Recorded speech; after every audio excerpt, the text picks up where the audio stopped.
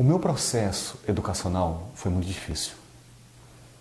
Eu fui uma criança que teve dificuldade na escola.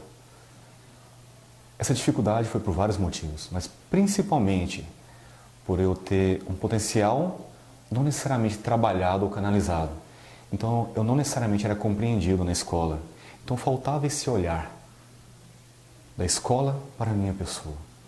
E com o tempo eu fui somando essa dificuldade inicial com o meu perfil, que não era fácil.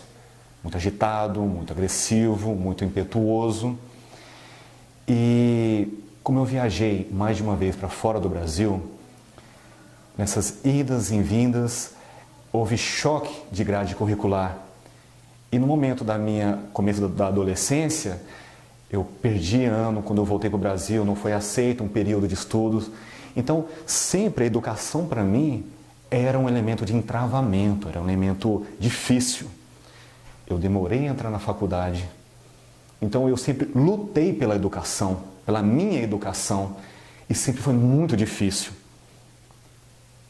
Então, o nosso instituto, a nossa empresa, eu tenho como foco auxiliar pessoas a crescerem por meio da educação.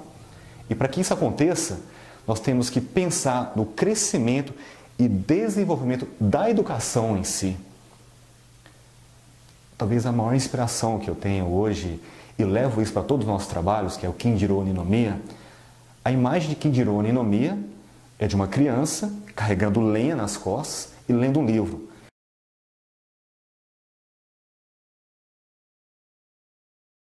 Ele também foi privado de uma educação, porque ele foi trabalhar para ajudar o pai. Embora o pai não quisesse que ele trabalhasse, ele foi para ajudar, mas ele não descuidou da sua autoeducação, sempre lendo, sempre estudando. Eu me identifico com ele, me inspiro nele e trouxe todo esse cenário para os nossos trabalhos. Então eu acredito que elemento central para o crescimento da pessoa e da sociedade é a educação.